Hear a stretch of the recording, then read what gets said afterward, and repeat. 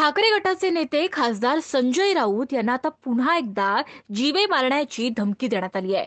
शुक्रवारी संजय राऊतांना मोबाईल मेसेजद्वारे ही धमकी आल्याची माहिती मिळते. पंजाबमधील खतरनाक गँगस्टर लॉरेन्स बिष्णोईच्या नावानं संजय राऊतांना ही धमकी आली आहे.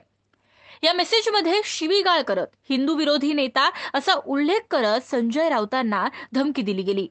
दिल्ली में मिल ए के फोर्टी सेवन से उडा दूंगा सलमान और तू फिक्स आहे असे मेसेजेस संजय राऊत यांना आलेले पाहायला मिळत आहेत दरम्यान धमकी देणारा व्यक्ती हा पुण्यातील असल्याची प्राथमिक माहिती मिळते. आता या प्रकरणी काही जणांना पोलिसांनी ताब्यात सुद्धा घेतलंय आणि अधिक तपास सुरू आहे. या तपासानंतर या संदर्भात काय अधिकृत माहिती मिळते याकडे निश्चितच सर्वांचं लक्ष आहे. दरम्यान संजय राऊतांना यापूर्वी सुद्धा कॉलवरून धमकी आल्याचा प्रकार घडला होता. आणि त्या संदर्भात संजय राऊतांनी केंद्रीय गृहमंत्र्यांपर्यंत धाव घेतली.